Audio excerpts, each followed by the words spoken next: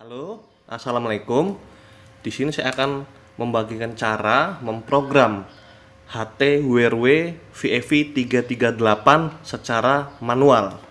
Di sini ada contoh ya frekuensi yang akan kita masukkan untuk di RX-nya sendiri itu di 142060 untuk di TX atau transmitnya di 143560 dan tunnya 71.9 ini merupakan frekuensi rapi wilayah 0204 Deli Serdang.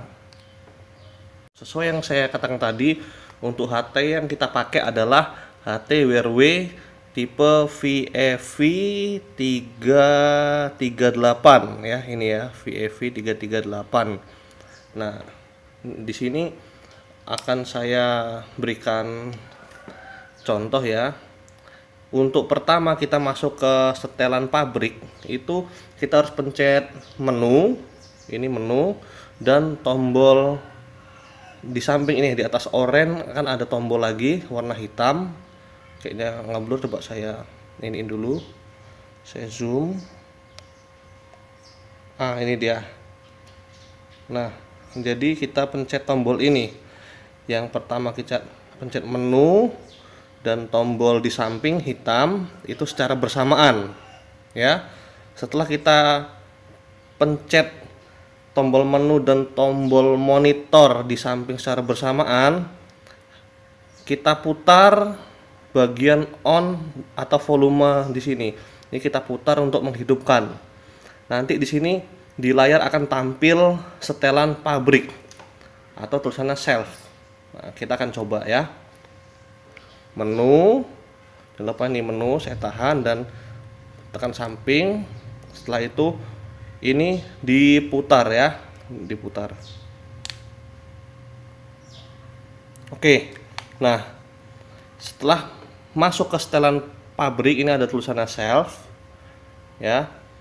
Ketika kita pencet enter ini adalah tampilan channel di mana kita memilih channel berapa yang akan uh, kita simpan ya di sini saya akan memilih channel 57 dengan cara memutar uh, memutar ini ya yang di sebelah kanan dekat antena kita cari sampai dapat 57 untuk channel bebas. Nah, di sini saya masukkan 57 supaya tidak mengganggu channel lain yang sudah saya simpan. 47. Oke, di sini. Channel 047. Klik enter lagi. Nah, di sini receive-nya kita sesuaikan. Ya. Di RX ini 142060 oke kita klik 142 kosong 6 6 kosong setelah tertulis sama itu kita enter lagi ini biarkan ini adalah tune RX apabila tidak ada tune RX nya dilewati dengan cara enter lagi Nah, ini masuk ke frekuensi uh, eh, TX-nya. Kita pindah ke bawah ini ya.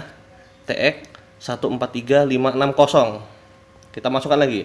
143560. Setelah selesai kita klik enter lagi.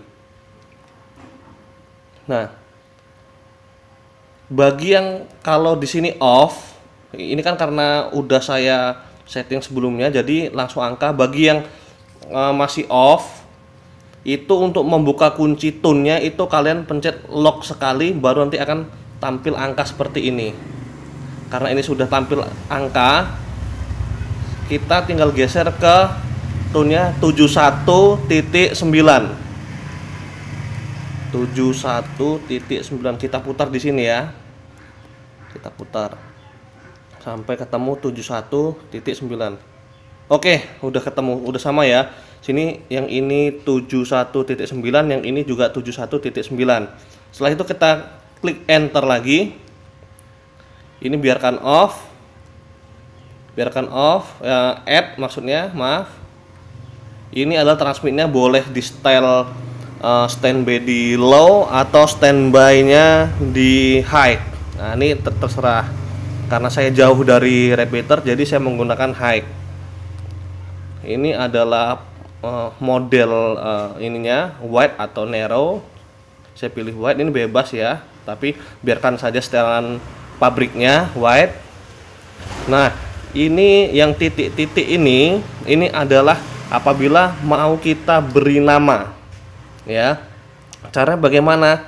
Nah karena ini frekuensinya rapi 0204 wilayah Deli Serdang ini akan saya bikin uh, rapi DS gitu aja rapi Deli Serdang. Caranya seperti ini.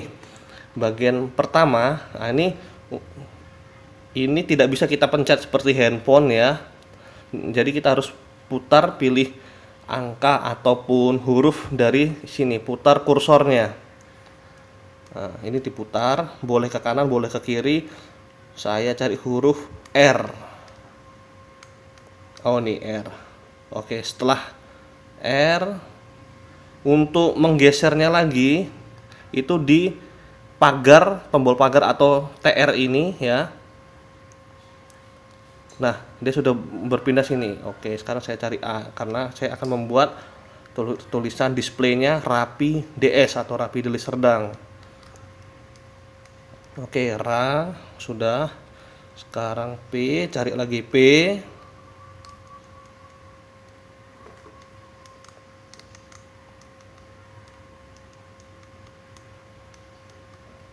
Oke, P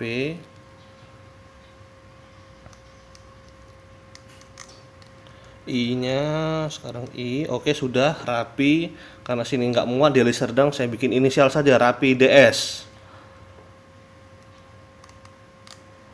Kita cari D. Oke, dan terakhir kita cari S. Oke, rapi DS. Setelah begitu kita klik enter lagi. Dia akan lanjut ke channel berikutnya 48 tadi. Kita di 47 sekarang 48 kalau kita sudah tidak ada yang mau kita save lagi biarkan saja. Kita matikan perangkat. Dan kita hidupkan lagi? Oke kita cari 47 nih ini kan sudah masuk ya. Nah ini betul ya 142060 dan ini 142060 kita ketika kita pencet PTT nya dia akan berubah 143560 apakah sama? Oh ya sama. 143560 apabila ada umpan baliknya sesuai tone dia akan ada cek lagi gitu. Nah cek gitu. Berarti kita sudah berhasil masuk settingan uh, di RPU atau pancar ulang ya repeater atau RPU pancar ulang tadi sudah kita bikin nama. Bagaimana cara menampilkan namanya tidak angka? Cukup mudah, kita matikan perangkat. Nah, ketika kita mau hidupkan, kita tahan enter ya. Enter ini kita tahan, kita pencet. Ini saya pencet dan kita putar. Kita hidupkan. Oke. Sesuai, sudah terdisplay di monitor rapi DS atau rapi Deli Serdang di frekuensi penyimpanan nomor 47 baik terima kasih. Eh, semoga bermanfaat bagi rekan-rekan. Assalamualaikum warahmatullahi wabarakatuh. Selamat mencoba. Salam rapi 5155